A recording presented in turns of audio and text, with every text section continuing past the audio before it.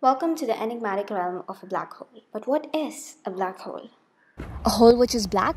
What? No, I mean, yeah, but black holes are regions in space where an enormous amount of mass is packed into a tiny volume. Like being able to stuff this into a box as small as this. Black holes form when massive stars die.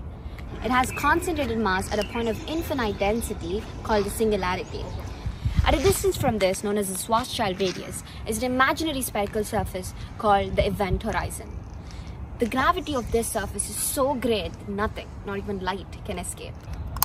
In 1974, Stephen Hawking came along to propose that black holes aren't exactly black and that they emit particles known as the Hawking radiation.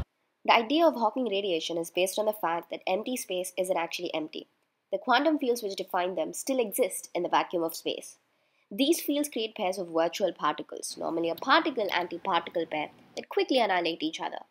But near a black hole, it is possible that one member of the pair could fall into the black hole and be lost forever, while the other escapes as Hawking radiation. This leads Hawking to answer the question if black holes have a temperature, and the answer is yes. But oddly, black holes have a temperature which is inversely proportional to their mass. So higher the black hole's mass, the lower its energy release and temperature. So micro black holes are predicted to be larger emitters of radiation than larger black holes but the universe can't routinely produce black holes smaller than 2.5 solar masses. So, finding a very small black hole and being able to detect its radiation is not quite possible.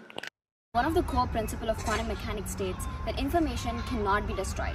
But the Hawking radiation predicts that the black hole disappears along with all the information it has swallowed. But Hawking radiation remains a theoretical prediction. If it proves correct, it means that black holes might not be the end of stars.